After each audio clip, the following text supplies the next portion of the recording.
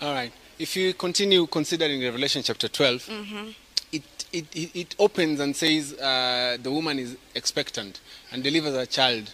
And then eventually we are introduced to the dragon once again. Yeah. Revelation chapter 12 and verse 17.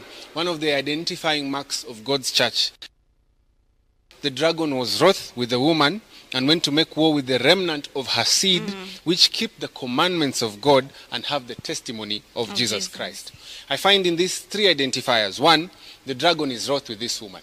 And the dragon, we are told in verse uh, 9 and 10, is- it is the devil. It's the devil. So it's, look for a church that uh, the devil is attacking. Look for a church that uh, who, which, which uh, espouses teachings that uh, perhaps may not be very popular, that are under attack, though they are based On the Bible. Biblical. The They- have a biblical foundation. The devil is right with them. So you ask yourself, wherever you are, um, are you sitting comfortable?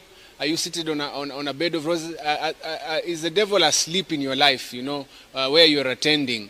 And, uh, or are there controversies? Are there issues that are, that are arising? But yes, you may find issues that are arising. Beyond that, why are these issues arising? Is it because you keep the commandments of God, all 10 of them? And also have the testimony of Jesus Christ. Revelation 19 and verse 10, as Brother Japheth uh, was telling us, says that the testimony of Jesus Christ is what? A spirit is a spirit of prophecy. So God's last day church is a church that keeps the commandments of God. So it, it upholds all the teachings of, of, of God's word fully and truly. And also it has the gift of the spirit of prophecy manifested through the teachings of prophecy. It has, a, it, has got a, a, a prophetic angle to it.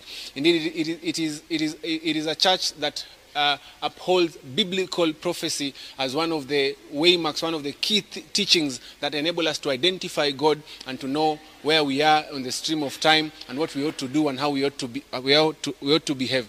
And far and beyond all this, because it, it, it, it, because it has these two things, the devil is wrath with her, with this church. It is a church that is under attack. It's a church that is under under under siege, but it is the church of God. Amen.